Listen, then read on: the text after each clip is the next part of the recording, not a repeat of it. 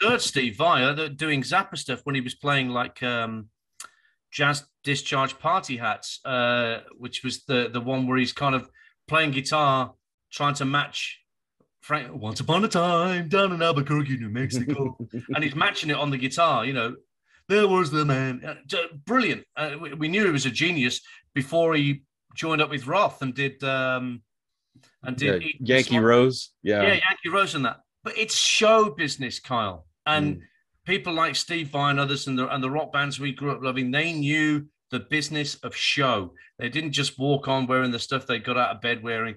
They, you know, you know, they, they wanted to entertain us in more ways than just the, the music we love, but they wanted to add to it. So you got you got your value for money. And I, am big into that. Yeah. He was, he was Steve Vai was on that album Them or Us, right? Is that the one that had